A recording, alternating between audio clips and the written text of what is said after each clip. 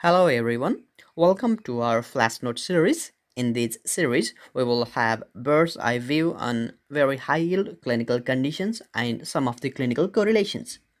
This is flash note 1. In this particular flash note, we will overview the route which are traced by the spinal needle during the lumbar puncture procedure. Let's enter into our proper topic. Before starting our proper topic, we need to have certain overview regarding the course of the spinal cord in the vertebral column.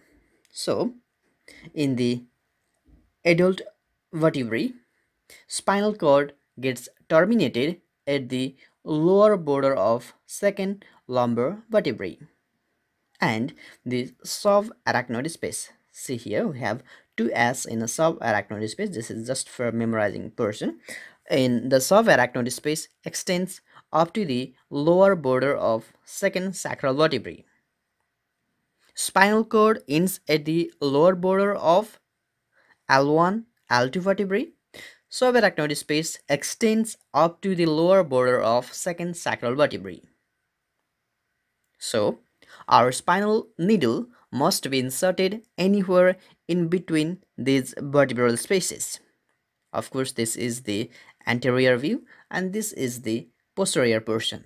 And we are seeing the lateral aspect the lateral region lateral section of the spinal cord with the vertebral columns is being shown. This is the anterior aspect of the body and this is the posterior aspect of the body. This is only for our proper orientation. So we have three spaces here between this one space and between this one space. So this upper space is between L3 L4 vertebrae lower space is L4 L5 vertebrae. So we can insert our spinal needle anywhere between L3 L4 or L4 L5 first layer which we will deal is the skin which will be followed by fascia and, and subcutaneous fats. And we will have three ligament of the vertebrae. First, we will have the supraspinous ligament. Supraspinous ligament, it connects the spinous processes of the vertebrae. So we will be facing the supraspinous ligament and then we will face the interspinous ligament that is between these two spinous process. First we'll meet the supraspinous ligament and then we will meet the interspinous ligament and finally we will meet this innermost layer that is ligamentum flavum. So the three ligament of the vertebrae we will meet is the first supraspinous ligament interspinous ligament and finally ligamentum flavum and then we will reach the epidural space. For example, this is epidural anesthetic anesthesia needle. Then while this needle is, is piercing and let's see where this needle might end. So we are going through the skin, subcutaneous fats, and this through the supraspinous ligament, interspinous ligament, ligamentum flavum, and finally we ended our needle in this epidural space.